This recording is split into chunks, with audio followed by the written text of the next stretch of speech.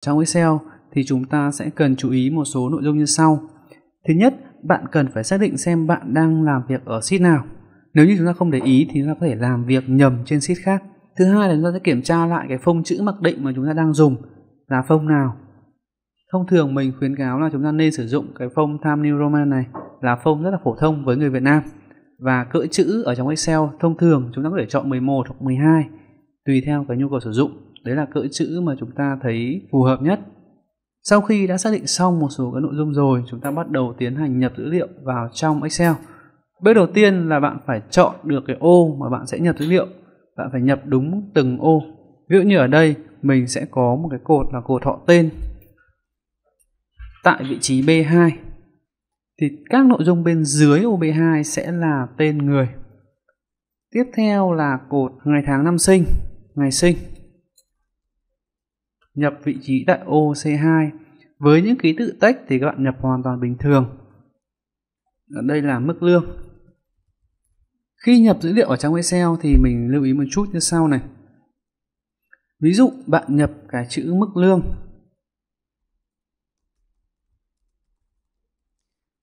Sau khi nhập nội dung xong thì chúng ta sẽ có thể có một số cách để kết thúc cái thao tác nhập. Cách thứ nhất là bạn kích chuột vào một cái vị trí bên ngoài cái ô mà bạn đang nhập. Cách thứ hai là bạn sẽ bấm phím Enter. Và cách thứ ba là bạn bấm phím Tab. Thì đấy là cách để giúp chúng ta hoàn tất cái thao tác nhập. Ví dụ ở đây mình bấm phím Enter thì cái vị trí ô nhập nó sẽ nhảy xuống dưới một dòng trên cùng một cột đó. Hoặc nếu như mình bấm phím Tab thì nó sẽ nhảy sang ô bên phải trên cùng dòng đó. Tiếp theo mình sẽ nhập mẫu một số nội dung, dụ như họ tên mình sẽ nhập tên là An đi. Tiếp theo là nhập ngày sinh. Thì với nội dung về ngày tháng ở trong Excel thì nó hơi đặc biệt một chút, đó là nếu như chúng ta nhập là 16 gạch ngang 3 gạch ngang 80 chẳng hạn thì khi chúng ta nhập như thế này thì sẽ có hai trường hợp xảy ra.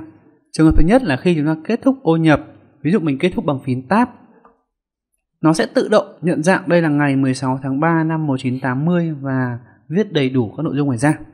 Trường hợp thứ hai, nhập 16 gạch ngang 3 năm 80, kết thúc bằng phím Tab thì không có điều gì xảy ra cả. Vậy thì điều gì đã xảy ra trong cái tình huống này? Thì tức là Excel sẽ có thể tự động nhận dạng được cái dữ liệu bạn nhập. Khi bạn nhập dữ liệu dưới dạng ngày tháng thì nó sẽ tự phỏng đoán được là cái dữ liệu đó bạn đang nhập nó có ý nghĩa gì và nếu như Excel hiểu được nó sẽ tự động trả về một cái kết quả theo ý hiểu của bản thân trên trình Excel. Và nếu như không hiểu được thì nó sẽ giữ nguyên cái nội dung đó. Ví dụ như ở đây, trong tình huống bạn nhập 16 gạch ngang 3 gạch chéo 80 Excel không hiểu được bởi vì có thể là Excel quy định là nhập tháng trước, ngày sau. Và bạn đã nhập tháng là 16 thì cái số tháng này không tồn tại, do đó Excel không hiểu được cái giá trị này có phải là ngày tháng hay không và nó coi như là bạn nhập giá trị text tức là không có ý nghĩa về ngày tháng thì nó sẽ trả về đúng cái giá trị mà bạn đã nhập. Còn trong trường hợp bạn nhập một cái số mà nhỏ hơn 12 ví dụ như là nhập 3 cái chéo 16 cái chéo 80 chẳng hạn. Thì ở đây Excel có thể đang hiểu là bạn nhập tháng 3 ngày 16 năm 1980 và bấm Enter nó sẽ tự động nhận dạng là à đây là tháng 3 ngày 16 năm 1980 chính xác rồi Đấy. hoặc trong một số máy tính mà chúng ta nhập 16 gạch ngang gạch chéo 3 gạch chéo 80 mà Excel tự động nhận dạng đúng được luôn là ngày 16 tháng 3 năm 1980 thì trường hợp này Excel đang hiểu là nhập ngày trước tháng sau Ờ, và cái cơ chế nhận dạng này mình sẽ giải thích ở bài học sau. Thì bài học này chúng ta chỉ cần nắm được một quy tắc, đó là Excel sẽ tự động nhận dạng các cái dữ liệu ngày, tháng, thời gian khi mà chúng ta nhập vào trong Excel. Và để có thể hiểu được các loại dữ liệu ở trong Excel thì chúng ta sẽ tìm hiểu ở trong bài học sau. Cảm ơn các bạn đã chú ý theo dõi.